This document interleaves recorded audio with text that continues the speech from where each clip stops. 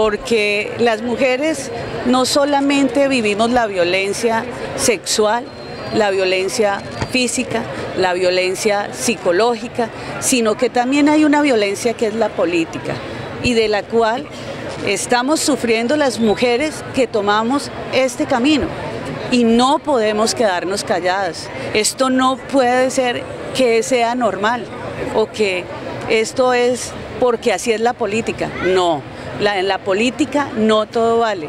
Y en la política se deben hacer, lógicamente, todo un debate dentro de unos argumentos y unos planteamientos y unas propuestas.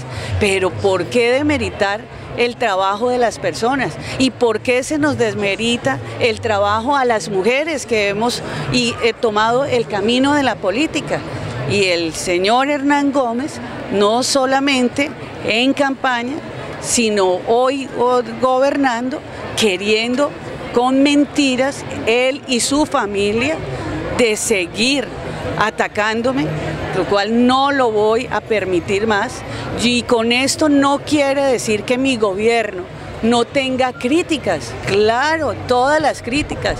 Si hay denuncias, para eso está la Contraloría, está la Procuraduría y todas los entes allí están para que se pongan precisamente las denuncias, pero lo que no acepto es que el señor Hernán Gómez Niño eh, demerite el trabajo de Marcela Amaya como mujer y gobernadora del departamento del Meta.